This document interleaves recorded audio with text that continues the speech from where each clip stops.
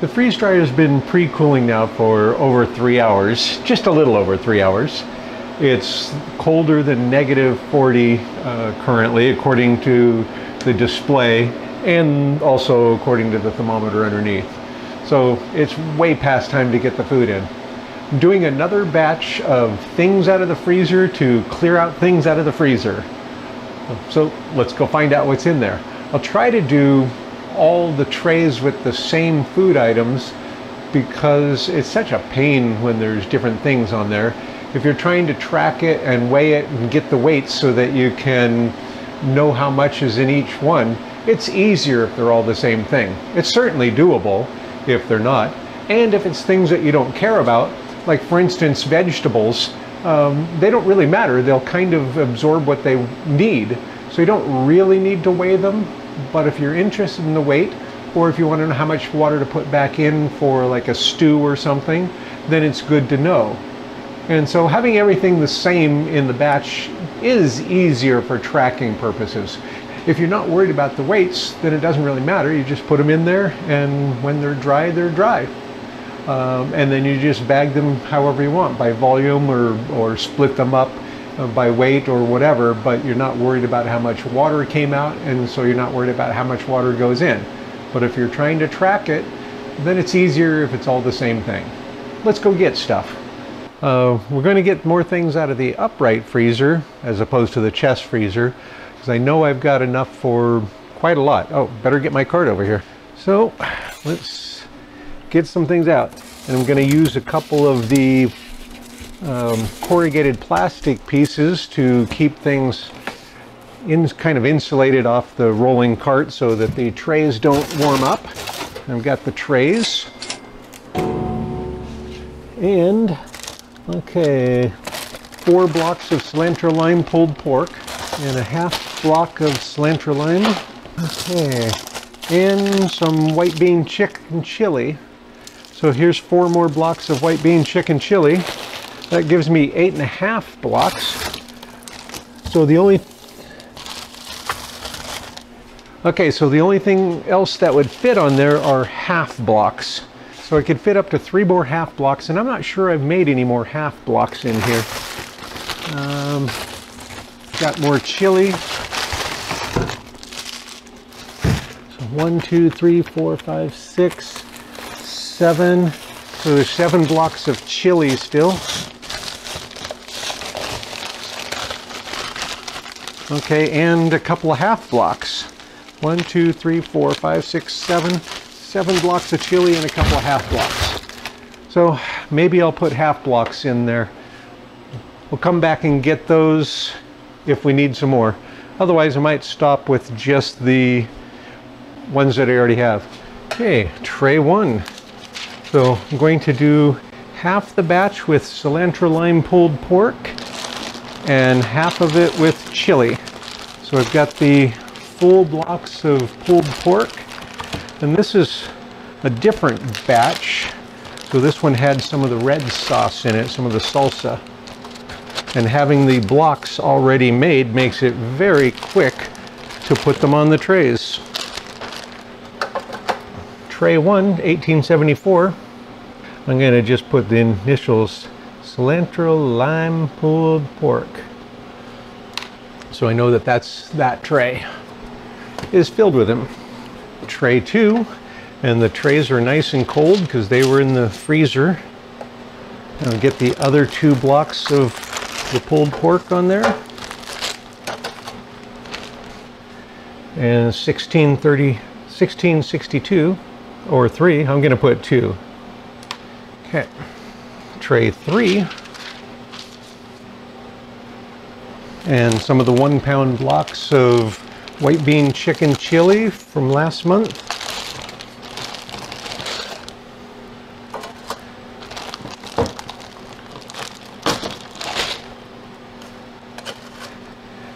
And obviously I've got room for more, but I think I'm just going to do that so I don't have to mix yet another thing into it.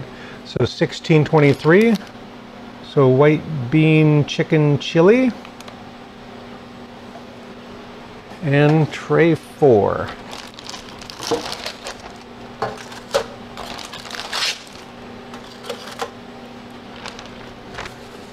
Okay, 1656. So I got all the items in there. Now I'm gonna get thermometers in those. I'm gonna use one of the pieces of corrugated plastic to keep it insulated from the table so that I don't uh, warm it up. So I'm going to go ahead and put a thermometer in there. Okay, it looks like there's a tall spot right there so I can go kind of like that and get into that spot there.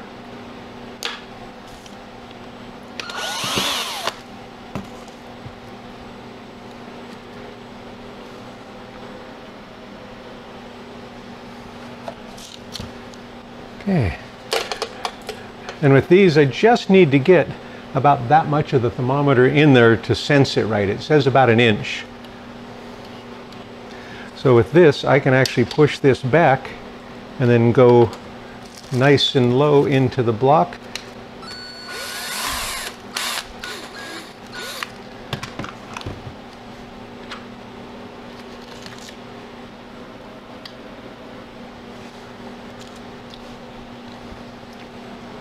Going to again drill into there.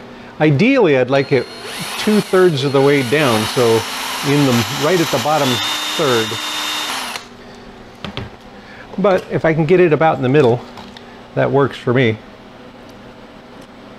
I've got it a little bit high so there's space under it. It'll settle down.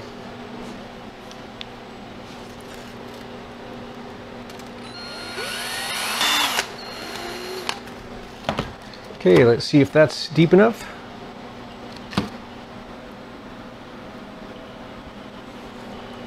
All right, they're ready to go in the freezer, or the freeze dryer. So we have four pounds of the white bean chicken chili and four and a half pounds of the cilantro lime pulled pork. We'll get them in, and it says it's negative 56 right now. But honestly, when it gets that cold, I don't think that that thermometer or the temperature probe is all that trustworthy. Because the thermometer underneath has been pretty steady at about negative 40 and hasn't been dropping.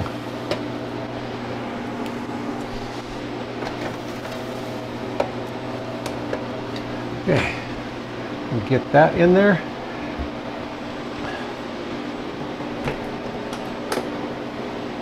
Okay, do we have a seal all the way around? Almost.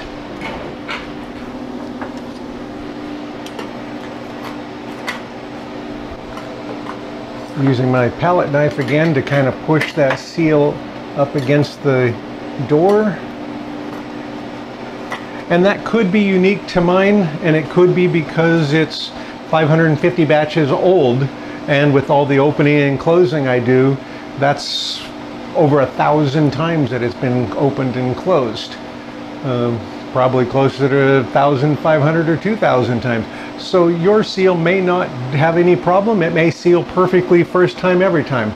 But I make sure that I have that ring around there before I leave it on its own to start the vacuum later because I want to make sure that it doesn't have a vacuum leak on the seal because that seems to be the most common place. I think I've only had it fail to achieve vacuum twice and both times I was able to find uh, a very small amount of stuff across the seal uh, like lint or a hair or something. Other than that I've never had it fail to achieve vacuum. So I don't know, maybe that's not common. Anyway, I make sure I've got that ring around there and it does. So we'll be back in a couple of days to check it and we'll be doing some of the rehydration with some of these things. So don't go away, we'll be right back.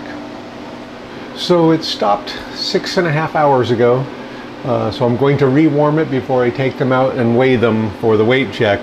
The bottom tray says about 42 below zero, and then about 40 below zero. So I'm gonna add enough time to uh, rewarm it. So there's my note last night about adding time. So I added four hours.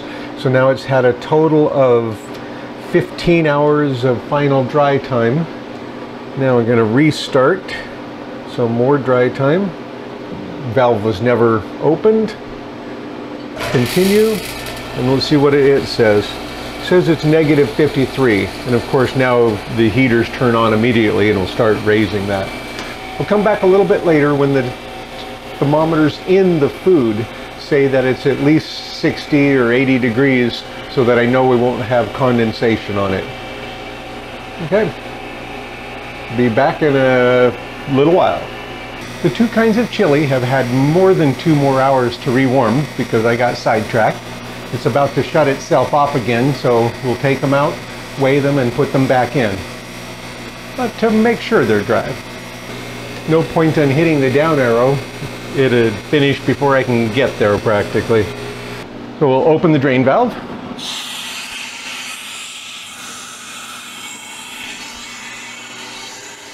We'll get them out.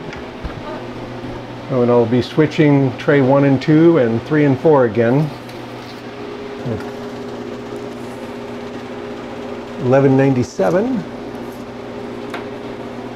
And I'm going to switch that with tray two. So I'll take tray two out first. 1123. And then we'll switch those spots. So two is going to go up on top and one is going to come down to this spot.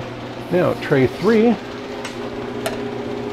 a 967. And this bottom tray is cooler, definitely cooler to the touch, 979. Okay, and those go back in. And tray four will come up a spot and tray three will come down a spot. I have no doubt, well, let me get this closed. I have little to no doubt that they're dry already.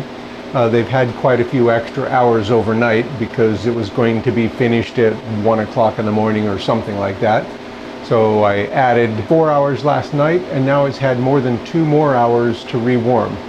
So that's an additional six hours of final dry. There should be no doubt that it's dry already, but I'm gonna put it in there, well, two things.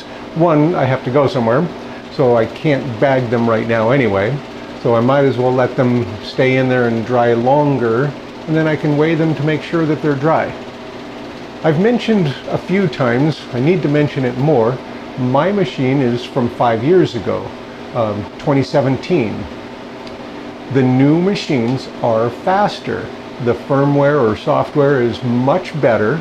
They're a much faster machine. machine. They're more sophisticated in electronics to know when it's done.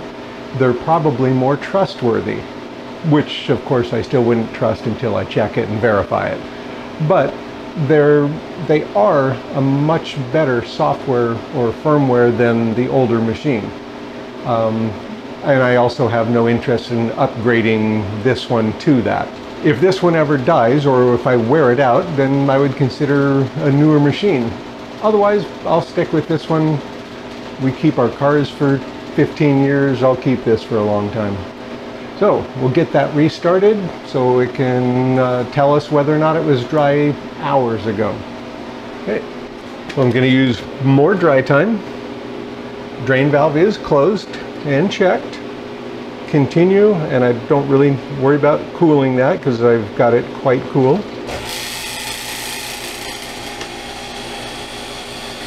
And I'll add an additional 15 minutes to make sure, but I'll also add another hour just in case I don't make it back in time. With that, it's set I'll come back later and we'll bag them. I'm finally back. It's been a lot of hours. Uh, it's still running, but it's in the last 10 minutes now, so we're gonna get them out. I assume they've been dry for quite some time because it's been a lot of hours, but they gotta set somewhere until I'm ready to bag, so they might as well sit in there in a drying cycle. I don't think you can over dry them. I hope not. Okay, let's get them out and check them. You can see it's still almost 100 degrees. Pressure's really low. We'll bypass the last of that. I'll turn off a couple more things. Open the drain valve.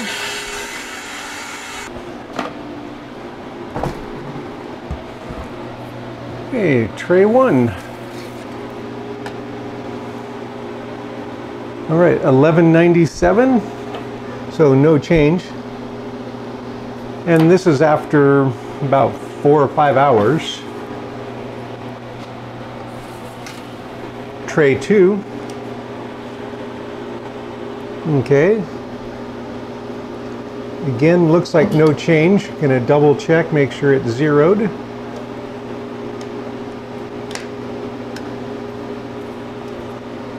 All right, so 1123, also no change.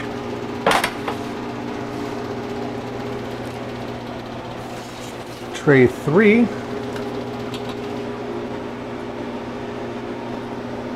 Nine sixty-seven, again no change, and I'm not surprised at all that there's no change because it's been a lot of hours.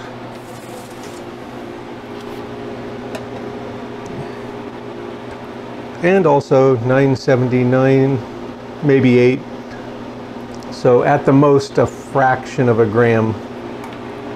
All right. Gonna get this moved out of the way. Put that on there so two slightly different recipes of the pulled pork one with the red uh, salsa and the salsa verde and one with just salsa verde Okay, let's get this stopped. Going to get no defrost. Okay, then we'll get the little defrost baffle into place and the fan in and get the thermometer out from underneath. Okay,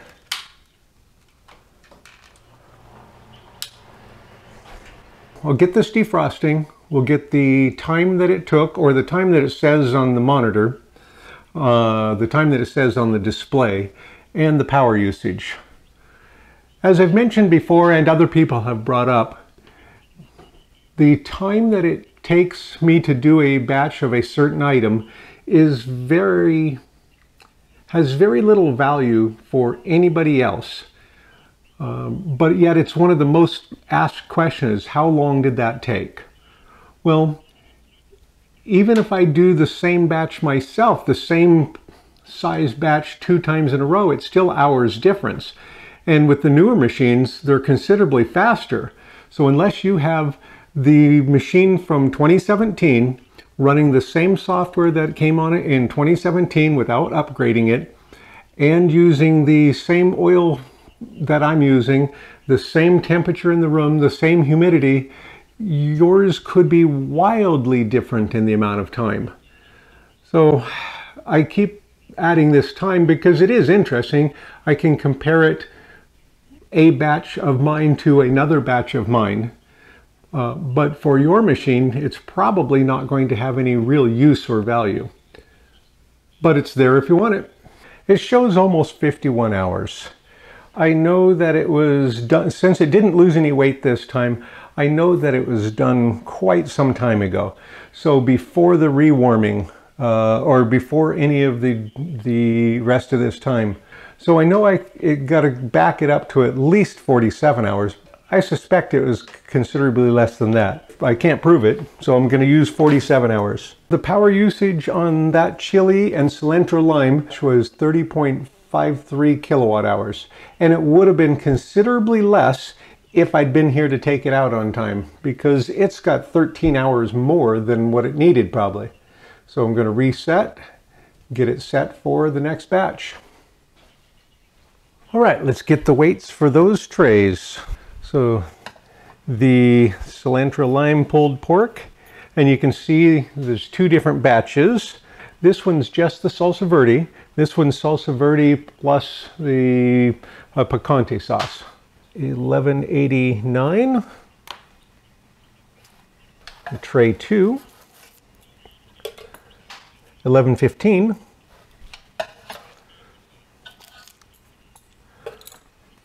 Nine sixty or fifty nine, so it's a little bit different. And this is the white bean chicken chili on tray four. So 970. All right, so we'll bag these chicken chili first. And each one of these blocks was a pound, so I really don't need to weigh it right now. I can just subtract the current weight from a pound to know how much water goes back in. So do the math on these and get right back. Got the bags labeled for the white bean chicken chili. It was a pound, which was about two cups. White bean chicken chili, the date it went into the freeze dryer. I'll fill in the water needed as soon as I put them in the bag and weigh them. And that it was batch 551. I'm going to take this off the tray.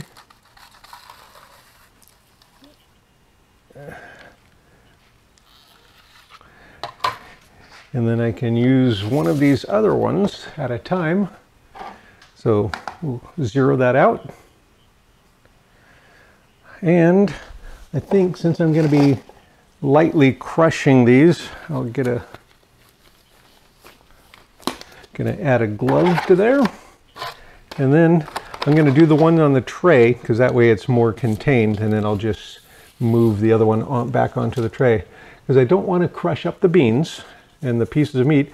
I just want to squish it just enough to kind of squish the sauce so that it breaks up enough to slide into the bag.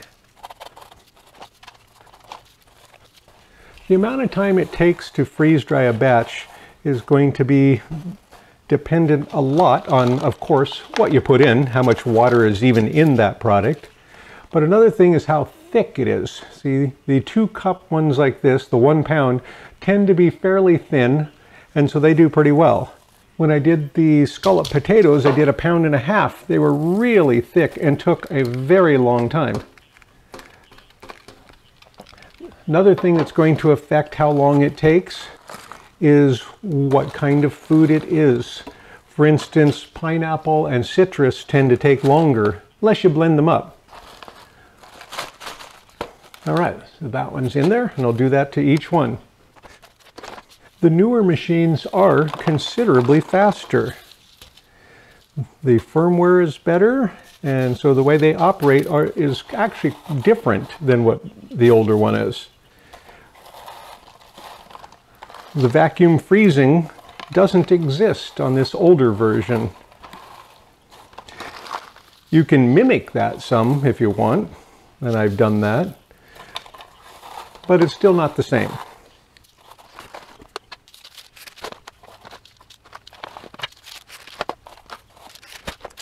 Now, the cilantro lime pulled pork, I'm going to go ahead and again move it onto two trays. Well, I guess that's the one I drilled the hole in. I better move this one. Now these are going to be a little bit more difficult to put in there probably because they're not going to crumble as easily as the white bean chicken chili. And I still don't want to, uh, I don't want to powder the, the big chunks of pulled pork. So I just want to do it enough to get the sauce kind of apart. So I probably should have just used a bigger bag, it would have been easier. And maybe it might be easier if I don't crumble it. Maybe if I just put it into two pieces like this. Well, let's try that.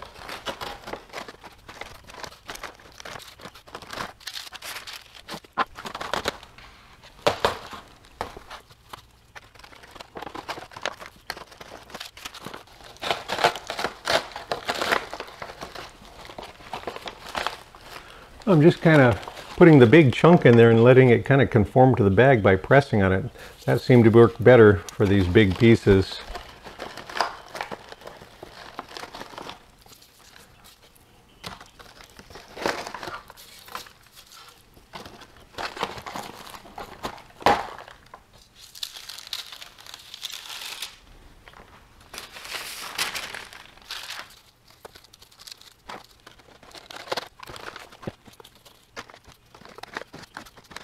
All right, and then the little half pound one. And this one I should be able to just um, put it in, in two pieces.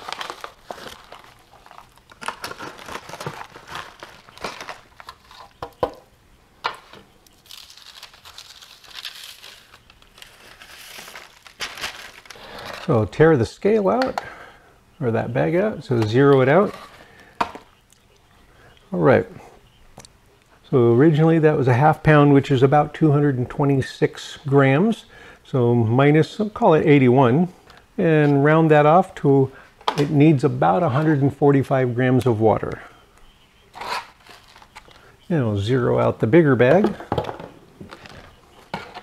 So that would need about 277 grams of water to rehydrate it back to the same as it was before. Oops. Oh yeah, these are all a pound. So I want to check to see if these other ones are more similar. Geez, that's close. There's only a few grams difference. Okay, and then the white bean chicken chili needs about 346 grams of water added back in. The white bean chicken chili and the cilantro lime pulled pork is bagged in a total of nine bags. I used eight quart bags and one of the pint bags. Now I'm going to add 300 cc oxygen absorbers to each bag and then zipper them shut and then afterwards we'll heat seal them. And on these I'm going to kind of tuck them down the side to make sure that they stay away from the seal when I go to seal it. And these are low enough I probably don't really need to worry about it. But get in the habit, better to do it the same way. Then I'll squeeze out any extra air I can if there's space at the top, like this chili one there was. You can see, nicely closed. Give it a little bit of a shake, make as much space as I can underneath. And the cilantro lime pulled pork, the bigger bags, the one pound bags, they're pretty full, so kind of close them more by pulling the corners out on the top and kind of zippering it from the middle. Okay, next, heat seal time. So get these heat sealed. So heat sealing as high up on the bag as I can again. Gonna hit that first bag twice. Make sure it's all the way up to temperature. Okay, nice wide seal all the way at the top with room for a couple more tries if I mess that one up or if I want to cut it off and use part of it. And even though there, even though there's no front to the bags, after I put the label on it, then I like to seal it with this side up so I can kind of glance at it and see what I messed up and needs to be fixed. If that ever happens.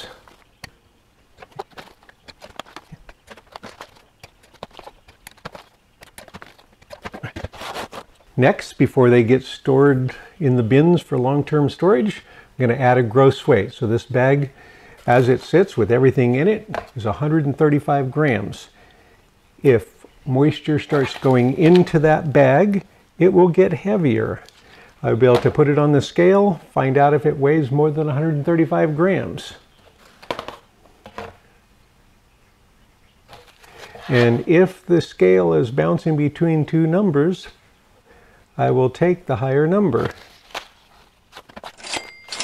As soon as I get these all labeled, they'll be ready to put in the bins. So this is our main rack system. You've probably seen it before. And if you take note of the little blue spot of tape right there, and one right there.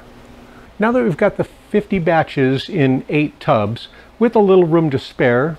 So you can see we could add a little bit more, and that's over 540 pounds of wet weight of food. Um, so we could get at least two or three more batches, maybe more. Uh, you probably know, you probably just saw that one, but I haven't yet. So now, uh, batch 551, we're going to put in these tubs. So this is our main rack system. And so uh, all of these have a front one and a back one. So, so if I pull this out, there's another tub back there. So 13 back and the 13 front. And I could have labeled these anyway. That's just when we started putting up the racks, we had two racks deep and we thought, well, we'll have the front one and the back one. I could have just as easily had bin one, two, three, four, and just labeled them that way. So it doesn't really matter as long as you're consistent or you can find them again. And with our database, we know we can find every bag. So it's never been too much of a problem. Now, uh, to make it easier on me when I'm down here without having to check the database every time, I have the little pieces of blue tape. That tells me that that bin has significant room in it. So if I want to put a batch in there, there's space for it. So each one of these, so we've got two down there, that means the front and back one. Oh, can't see that anymore. So if I've got two pieces of tape, that means the front one and the back one have space. Otherwise, it's just the front one. So we have two, four, six. So we have six bins out of this that have fairly significant space. So three of the little tubs and three of the big tubs have space. We've used things up out of them and created enough space that there's room to put something in or they're even empty because we they got really low and we put the rest of them into one of the others that was getting low. Now, batch 551, the cilantro lime pulled pork and the white bean chicken chili can go in a tub and then I'll record it and we'll uh, update the database. So I'm going to go ahead and put it in 15 front because it's right here handy. The other ones would be off screen.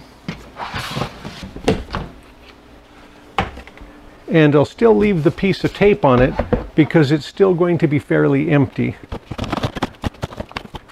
And of course these tubs hold far, far less than the big tubs, but that's the beginning of it's the beginning of tub 15 front. Yeehaw! Okay, so 15 front now has those nine bags. Now as we go forward on this, continuing on these, we'll start doing a lot more of the rehydration also. So if there's any specific item that you want to see rehydrated or cooked in a certain way once it's rehydrated, let me know. We'll see what we can do. Thanks for watching and thanks for the support.